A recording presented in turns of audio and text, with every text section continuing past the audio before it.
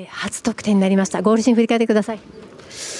途中から入ったんで2-0という状態だったんで3点目決めれば時間がもう残り少なかったので試合を決めれるかなと思って入って、まあ、いいパスをキャプテンが通してくれたのであとはゴール流すだけでした、はい。えー、途中出場でした。監督からどのような指示を受けましたか？まず裏が